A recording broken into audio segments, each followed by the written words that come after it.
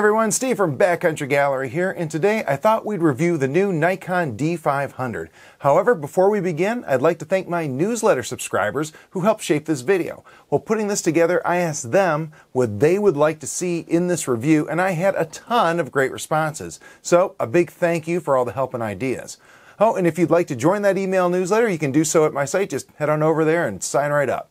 So I've taken all the most common questions, as well as a healthy dose of what I like and the little bit that I don't like about the camera, and put all of that into this review. Oh, and I've also made a point of mentioning how I personally have the camera set up as we go along. I had a lot of requests for that. There's also a page for this review on my website that I'll be adding to as time goes on. Right now, it just details how I have the camera set up, but I'm sure I'm going to be adding to it.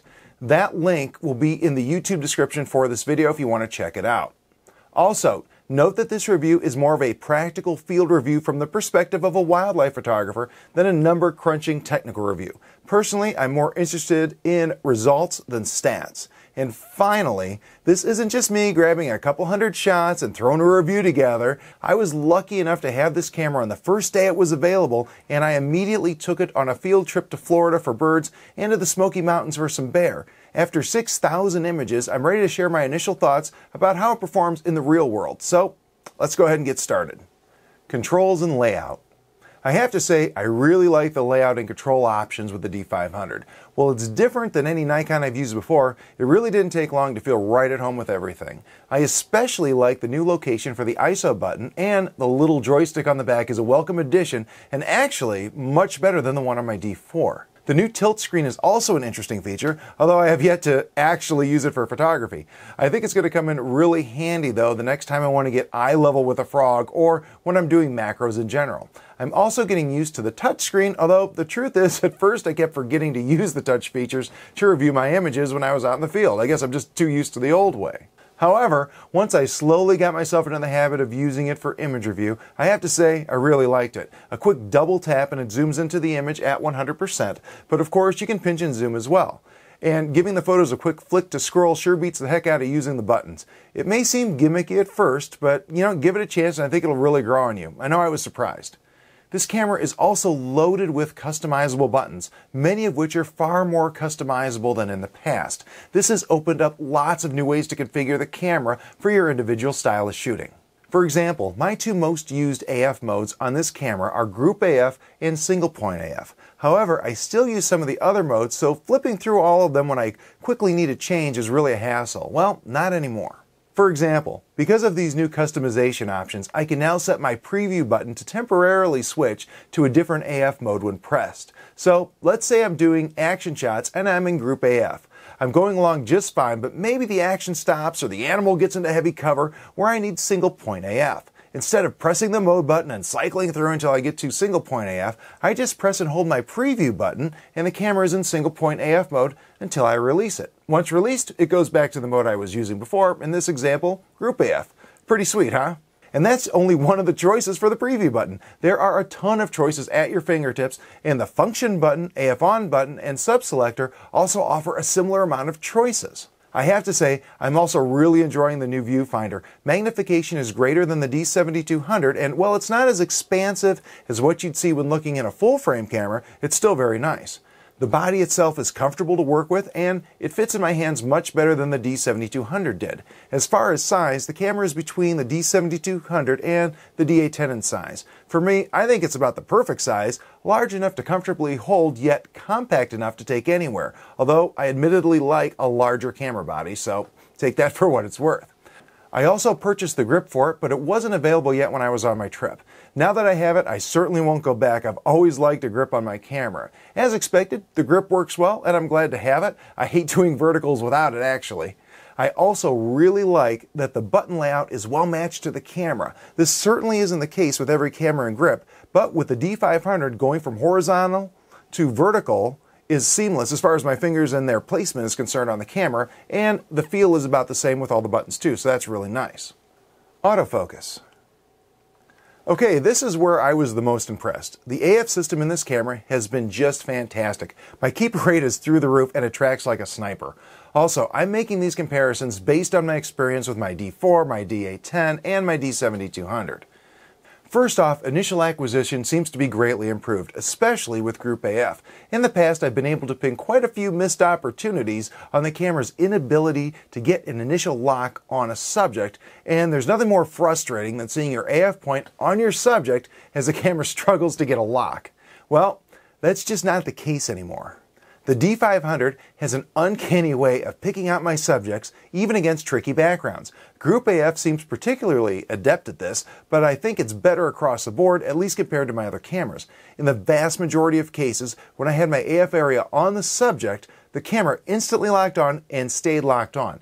Plus, the other side of this coin is that when I made a mistake on my end and lose tracking, I could correct and the camera would reacquire focus almost instantly and very nearly every time. That just wasn't the case in the past with my other Nikons, at least not at this level. Not only is initial acquisition improved, but tracking is also. The truth is, the camera very seldom loses a lock. Most of the time, if an AF lock is lost, it's because I made a mistake. This tracking is simply tenacious. Once it gets a lock, it does not want to let go.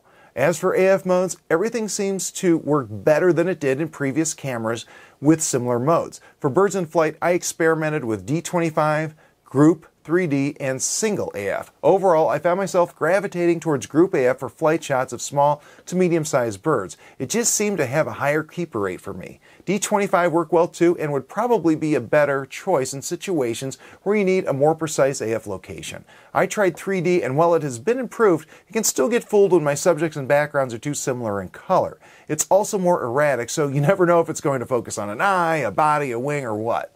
I have a feeling it probably works better with people than it does with wildlife. Single point continues to work well, however, I did notice that it seems slightly harder to use for flight shots than with my older cameras. This may be due to the smaller size of the AF points in the new camera, or I may have just been having an off day. It also didn't seem quite as quick to get the initial lock on as Group AF was. That said, Actual focus speed on a stationary target was the same as far as I could tell with my basic tests. In any event, Group AF ended up being my go-to for most of my action work on this trip, and single point was my default for stationary subjects. As time goes on and I become more accustomed to the AF system, that may change. Another question that I've seen a lot is how does the camera do with low light AF? For this, I tested one of the toughest subjects I know, black bears in low light. That situation has been a challenge and sometimes an impossibility for every Nikon AF system I've ever used. Well, it turns out that the D500 is actually better, but still not perfect. In really low light against the flat black fur of a bear, even the D500 can struggle. But hey, it's still better than any of my other cameras I've used, so you know what? I'll take it. That said, just as soon as there's the least little bit of contrast to get a bite on, the D500 comes right back into its own. As for non-black bear subjects in low light, it did better than I expected in every circumstance. The truth is, the camera can continue to lock onto subjects reliably well past the point I would stop shooting due to climbing ISOs, but a little bit more on that later. Also, I have to say, I absolutely love the fact that the AF points are spread out from one side of the screen to the other. I use my AF points for composition, moving them around to try to keep focus on the eye. This new layout makes it much easier to do so without the need to constantly focus and recompose. And the joystick on the back makes moving from point to point very intuitive. The new layout also has 153 AF points instead of the old setup with 51 AF points. Note that only 55 are user selectable, the rest are in between those points and used with the various tracking modes. In practice, this works great. It allows you to quickly move your AF area around and still be able to place your point where you like it in the composition. Speaking of which, the points are smaller, so the dynamic area AF numbers have changed. Instead of D9, D21, and D51, we now have D25, D72, and D153 respectively. The D25 and D72 areas cover approximately the same area in the viewfinder as the old D9 and D21 areas did, and of course the D153 option covers the entire autofocus area. Personally, if I'm using one of the dynamic modes, it's usually D25, sometimes D72. There's also been some changes to the focus tracking with lock-on options. We now have five settings from quick to delayed. I used to shut this off completely because the older cameras would occasionally lose focus and pick up on the background. When that happened, the delay would cause the camera to hesitate. When I tried to regain the focus, I'd often just miss the shot. Well, tracking has improved so much that that's not as big of a problem as it was in the past. In fact, having the lock on engage allows me a split second to regain focus if I happen to wander off the target. Currently, I like mine set at 2 for the birds and flight shots I've been doing, but certainly test yours to see what works best for you. The other new part of the setting is subject motion. So far, I've kept mine between erratic and steady, however, I could totally see going for erratic for something that's not as predictable as the types of birds I've been photographing in flight. What about the new AF fine tuning feature? Well, I have to say, I don't like it nearly as much as some of the other new stuff. When I was in Florida, I met up with my friend Michael Tapes, the inventor of LensAlign we were talking about the new camera and, long story short, ended up going to his place and using the LensAlign system to dial in my 300 PF lens on the D500. So let's just say I'm completely confident with the plus two adjustment we came up with. After all, it was done by the guy who invented LensAlign. Oh, and when I tested it in the field, sure enough, boatloads of tack sharp images. After I returned from my trip, I decided to see if the AF Fine Tune feature worked as well as LensAlign. The procedure is pretty simple. Put the camera into live view, Make sure the AF point is centered, and then focus the image. Once you have the image perfectly focused, hold in the AF mode button and the video record button at the same time. A screen will come up, just click OK. Now go to your AF Fine Tune menu and you'll see that a value has been entered for the lens. Pretty sweet, huh? Well, not so fast. I did this multiple times and the readings were all across the board. The range was from minus 4 to plus 6, and I've heard of people getting even wilder swings than that. So in the end, I'm just not sure how useful it is, and in fact, I think it actually has potential to do more harm than good. Personally, I'm going to stick with LensAlign. I've been using it for years and it's a much more controlled, precise way of testing and determining the optimum tuning value for a lens. And with a high pixel density sensor like this, your lenses really do need to be as spot on as possible. Auto fine tuning aside, in my opinion, if you want just one reason to upgrade to the D500, it would be the AF system. I'm absolutely thrilled with it. I think it's safe to say it's a really nice step up from the very best that Nikon had to offer just last year. Shutter, frames per second, and buffer. Now, another thing I really like about the D500 is the shutter. It's not super silent like the D810, but it's quieter than the D7200 and certainly quieter than the D4. I've actually scared animals off with the D4 before, and I don't think that's going to be a problem with the D500, at least it hasn't been yet. Oh, and it also has a couple of quiet modes, but honestly, they don't seem that much softer to me, just slower.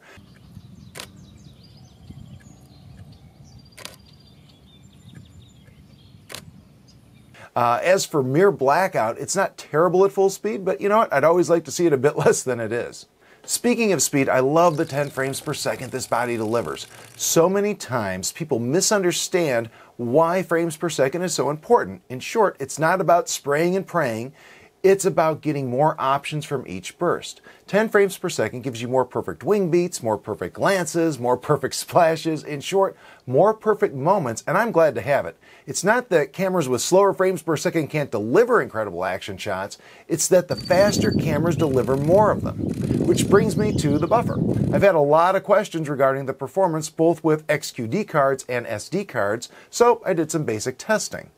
With my SanDisk Extreme Pro card, I was able to get 45 images before the buffer began to chug. In all honesty, that should be enough for pretty much everybody using this camera, probably 95% of the people. I personally have yet to knock off 45 in a row in the field. Now, XQD cards are another story. With my Lexar 2933X card in there, I was able to pop off 200 shots, but that's not the whole story. The reason it stopped at 200 shots is the camera won't go beyond that. The 200 shot limit is presumably so you don't kill your camera if you leave it on and stick it in your bag and the shutter button gets depressed. However, there's something cool that no one else seems to mention. If you hit that 200 mark and then take your finger off for just a second or two, you can go right on shooting. Check this out. In this clip, I'm about to hit the buffer. There it is. I take my finger off for a second, and there you go. I'm pounding away again frame after frame. Basically, with a fast XQD card, you have an unlimited buffer in the D500. Sensor performance. Next, let's look at sensor performance. First off, I'd like to say I'm really liking the files I'm seeing from this camera. They look a lot like what I get from my D810 in terms of color, and they seem almost as malleable in post. One thing I did notice that I want to pass on to Lightroom users though. I personally have been liking the camera neutral setting better than the Adobe standard profile. Normally, I kind of go back and forth between them, but I just don't like Adobe's profile for this camera this time around. It seems to add too much contrast, seems to rob it of some color too, so take a look at that when you're in there. What about dynamic range? Well, Nikon did really good here. At ISO 100, it beats the D5 by over a stop and is less than a stop behind both the D810 and D750. At ISO 800 and above, it's less than half a stop from either the D750 or the D810 and starts trailing behind the D5, which knocks out everyone above ISO 2500. So, in short, dynamic range isn't an issue with this camera. In fact, here are a couple examples. This image was on my first evening with the camera and I had the exposure set wrong. Looking at the file on the back of the camera, I was absolutely sure I blew the highlights. However, turns out that even with the exposure this far off, the camera didn't actually clip the highlights in RAW and I was able to recover the shots in Lightroom. Here's one with the opposite problem. As you can see, it's over two stops underexposed, but just a quick adjustment of the exposure slider in Lightroom and it comes right back. The camera is actually ISO invariant, and other tests have shown that you can actually pull an image back that's up to five stops underexposed and end up with a noise level that's nearly identical to what it would have been had you set the ISO in the camera to the equivalent setting. In other words, let's say you're shooting manual mode at 1 2000th of a second at f4 and the proper ISO for your light level is ISO 3200, but you accidentally had your camera set at ISO 100, a 5 stop difference. You shoot a few shots and you catch your error and readjust your ISO to 3200 for the rest of the shoot. When you get back to your computer, you can actually pull those underexposed shots up by five stops and end up with about the same noise level and quality as the properly exposed image. Pretty sweet.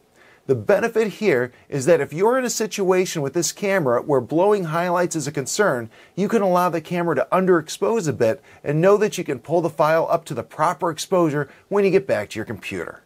Speaking of ISO, how good is it anyway? Well, let's put it this way. It's fantastic for a crop sensor, but it's still the performance of a crop sensor. Now, I know there are people on the internet saying that this camera is as good as or better than its full frame counterparts, but that just isn't the case, at least not for RAW files. Figure this camera is about a stop behind the current crop of Nikon full frame bodies. From my field experience, it seems like it might be just a touch better than the D7200, but if it is, I mean, we're only talking a third of a stop.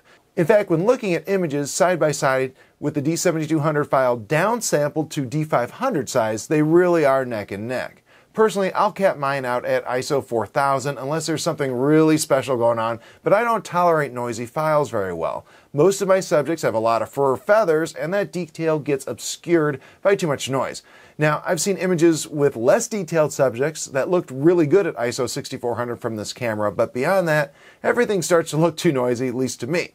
However, the D500 seems to be able to capture a ton of detail and the noise pattern is very easy to work with. I use noise reduction software on most of my files and the files take noise reduction really, really well if you have a sharp image. I love Topaz Denoise. It seems like it can clean up D500 files pretty easily while maintaining really good detail.